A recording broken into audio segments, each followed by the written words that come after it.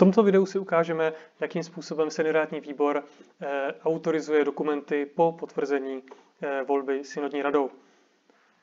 Dosud se tyto dokumenty tiskly, podepisovaly na papíře a posílali, nyní je můžeme podepsat v té finální verzi po volbě, po jejím potvrzení v elektronické podobě. Přihlásíme se jako senior, otevřeme si eh, aplikaci Akta,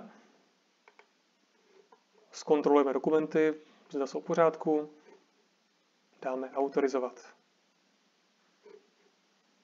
Nyní se tyto dokumenty autorizují za